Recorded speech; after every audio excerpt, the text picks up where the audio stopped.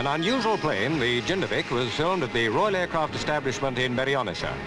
It has no pilot and it flies to be shot at, being a practice target for homing missiles. Here it is, trailing part of a target used for the same purpose.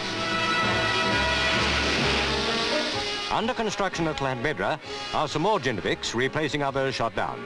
They're full of scientific devices. Radio controlled is very easily said, hard to achieve. A small supplementary target can be towed by the aircraft, which saves the taxpayer a lot of money. The Jindivik has its own method of becoming airborne. Quite apart from flying being radio controlled, the takeoff trolley is detached as flying speed is reached. That's something we shall see when everybody's ready, including the ground controllers.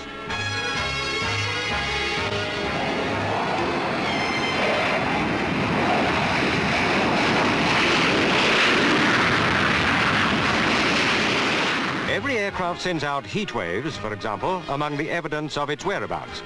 Following such waves to their source, the missile can't fail to connect.